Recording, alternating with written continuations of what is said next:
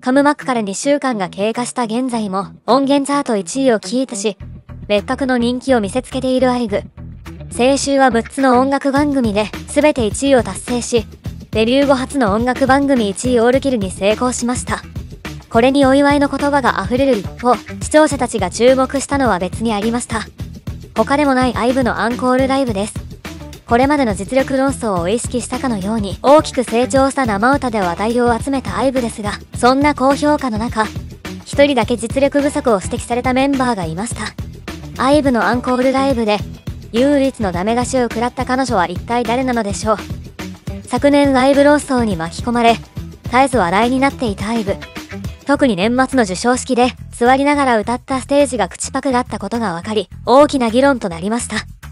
かも口パクの音源が独自のコンテンツ用にあらかじめ録音しておいた音楽という点で激しい批判の声も上がることとなります。当時ステージに上がったオノン・トイソも実力論争に巻き込まれることとなりました。そんな IVE の名誉が墜落した昨年の議論を意識してでしょうか。今回のカムバックで IVE のライブ実力はかなり改善されていました。IAM は高音が多く口パクがほとんどだろうという世間の予想とは異なり初めて公開されたバラエティ番組で安定的なライブを披露。実際のカムバックステージでも呼吸音が勝った。リアルなライブ音声が発信されました。さらにオールライブで有名な深夜音楽番組にまで出演し今回は少し違う。という反応を引き出します。それでも修正の可能性があるだけにネットユーザーたちが最も注目した舞台はアンコールライブでしたそしてライブのアンコールライブのステージが公開されると昨年とは正反対の肯定的な声が続きましたウォニョンは以前の曲で高音パートを担当した時よりも、 I AM の低音パートを安定的に消化。磯も以前と違い、自信を持って歌ったことで力強い歌声が出ていました。不安視されていた高音パートはさらに驚きでした。リズが安定的に高音を消化したことはもちろん、ユジンはフライアップのパートをきれいに歌い上げ、涙をこらえながらライブをやり遂げたユジンの姿には拍手が送られました。音源と全く同じというわけではありませんでしたが、高音が多く難しい曲だけに努力したのがわかる、など期待以上のパフォーマンスだったという意見がほとんどでした。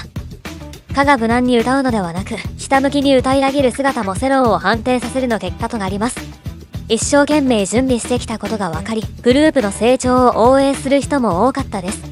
しかし一人のメンバーにだけ、残念な意見が集まりました。ガウルです。パートが多いわけでもないのに、ガウルのパートだけ雰囲気がぐったりとして、音程が同じだという意見がありました。